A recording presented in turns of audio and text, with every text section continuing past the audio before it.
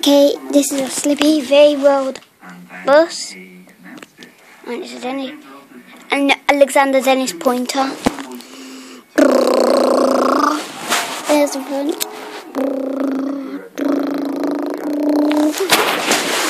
At the back. This used to be a Super Park and Rider bus, but now it's a Slippy World bus. So, see that? Slippy V World. See, look what that says. Slippy V World Bus.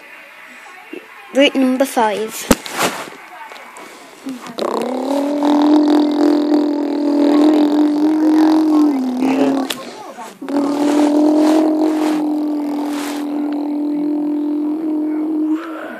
There it goes.